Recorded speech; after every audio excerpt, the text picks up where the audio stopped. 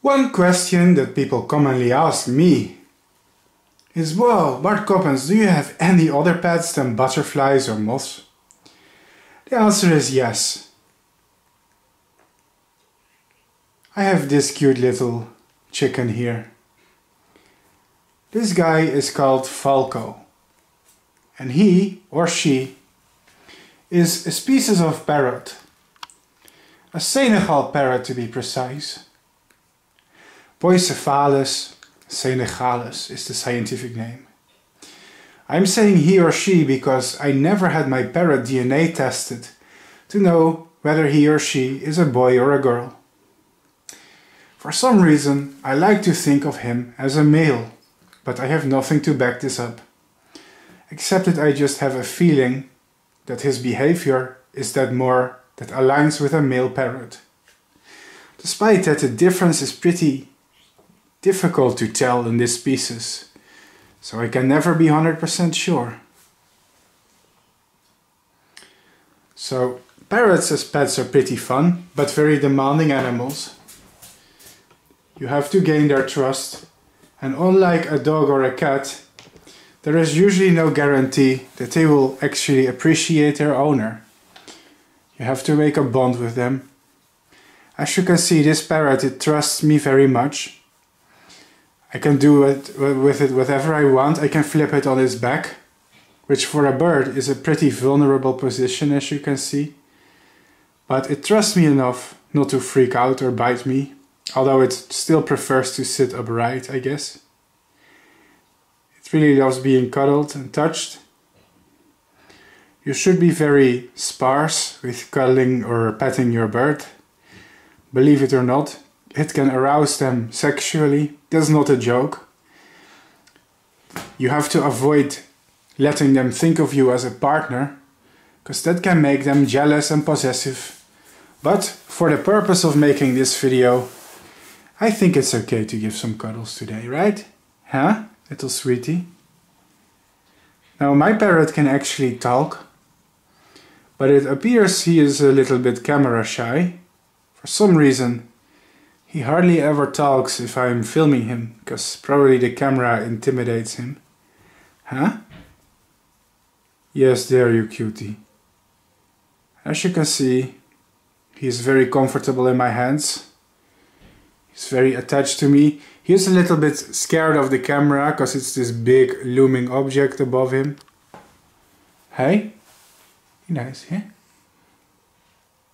Take a look, these are your fans. You're famous bird now, see? Yes, sweetie.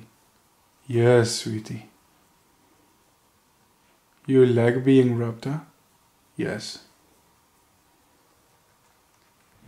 So. This species has a more or less iridescent green back. But if you take a look at his wings, for example, yes, you're a scientific specimen now. They have some beautiful yellow. As you can see, my parrot is even comfortable with me touching his wings. This is very rare. This requires a massive level of trust.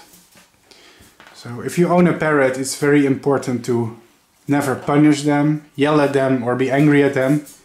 Parrots can misbehave, they can scream, they can bite.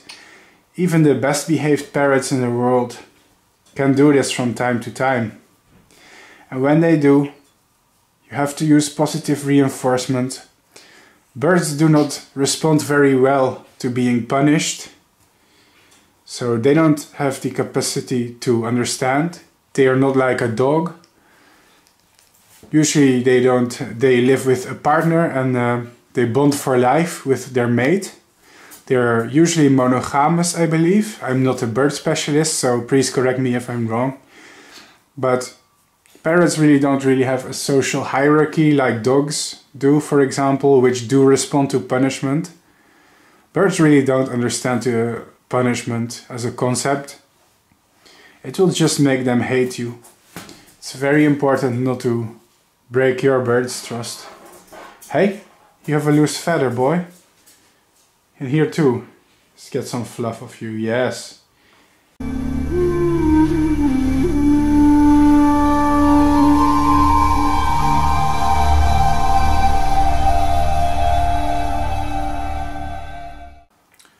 Generally speaking, my parrot Falco is a very well-behaved parrot. He is very kind. I, he allows me to kiss him, for example. See? Yeah, how cute. He does have a screaming issue, however, especially if I am at work, if I am gone from home. He can scream for hours on end. Maybe you can even see it in the ba background of my videos. I mean, you can hear it sometimes. It's like this very piercing shrieking. It's a little bit annoying. I don't know why he does that, probably for attention. Then again, if you ever plan to get a parrot as a pet, be mentally prepared for screaming. Some lucky owners, they have a bird who doesn't scream and is well behaved. But I can guarantee you those kinds of birds are generally in the minority. Majority of parrots like to scream and there's not much you can always do about it. Because they, like I said, these are completely wild animals. What he is doing now, he is raising his wings and doing this weird dance. This is in fact a mating behavior. I guess my parrot sees me as his partner, which is awkward because I have to friend zone him if he does that. Like I said, one behavior you do not want to encourage if you have a parrot is to encourage them to think of you as a partner. Now in this video I was touching my bird on his back and his feet, but usually I only pat him at the head, because touching his body too much will give him the signal that I am his mate, which is cute, but not what you want to encourage all the time. Because like I said, a bird who thinks of you as a partner, yes, did you hear that? They can uh, become jealous, they can become possessive. Yes! See, he's making sounds. He can actually talk, he can say words, but I rarely get him to do it in front of the camera. It's almost as if he is aware of the fact he is being filmed. Yeah.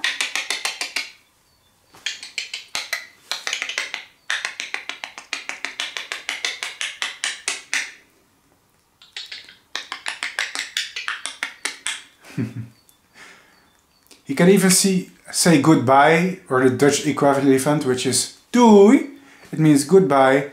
When I put on my coat for example he knows I'll be going away and he already says goodbye. So hey, cool down, you're getting too horny. Yeah, this is um, like partnership behavior.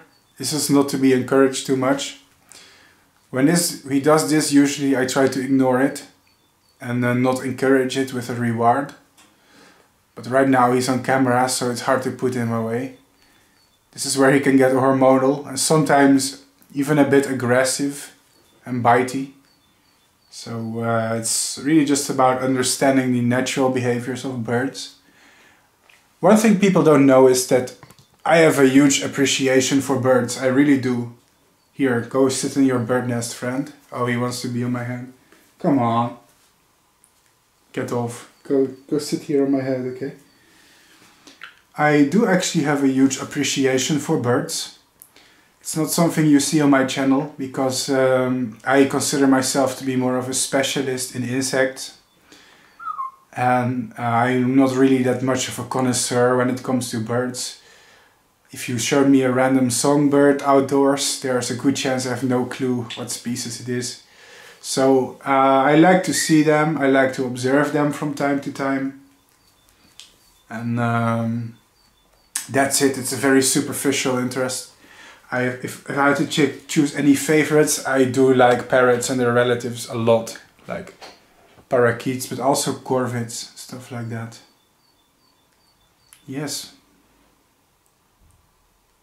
You're on top of the world now. So why don't I show him on YouTube that often? I don't know really. Maybe I should do it more often, huh? My parrot is not clipped. He is fully capable of flying. Um, that's a personal choice I've made.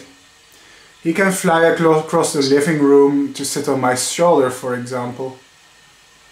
Some owners choose to clip their birds. Yes, but I think it's good for their confidence if a bird is able to fly. Second of all, birds who are clipped, they can harm themselves sometimes. For example, if they, they fall from a, from a high place to a low place, then they can use their wings to, hey, they can use their wings to reduce the falling damage. Hey dude, what's happening? Why are you talking this much? You are ruining my vlog, bro. Hey, Foco. Foco. Hello. Are you silent? Good, good, good. Now, being able to fly is a bit of a risk. Why is that? That's because uh, flying birds can also injure themselves. For example, they can fly against glass or a window. They can they have a higher risk of escaping. I always make sure that all the windows and doors are closed. If my parrot is out of his cage, then again it's always a risk, he could escape. Uh, I hope it never happens, because I love this little dude, but you never know. I really don't, I have to say I don't really like the concept of clipping a bird. Like this is an animal with wings. And if you don't like an animal that flies, don't get one that has wings, right? It's a bit simplistic argument, but it's one that I think is true. Like I breed a lot of butterflies and moths, and if you don't, if you don't like the fact that they have six legs or wings, then you know it's probably the wrong pet for you, know. So, uh, yes, cutie, I'm just showing you off on YouTube, huh? You sweetie. Oh God, his nails are a bit sharp right now in my scalp. So uh, parrots, they actually have quite sharp nails. They can use their legs pretty well to climb and grab objects, like toys for example. Mm -hmm. Come here, sit on my head. I think that it's even possible for them sometimes to hang almost completely upside down, which he obviously doesn't want to do right now. But maybe if I do it like this, hey,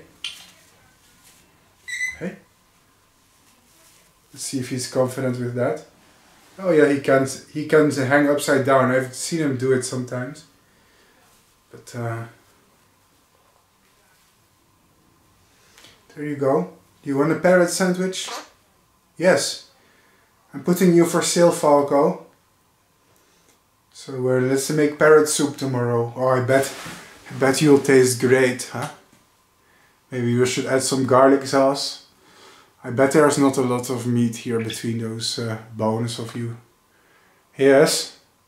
Do you want to do something silly? Look, you're famous now, bro.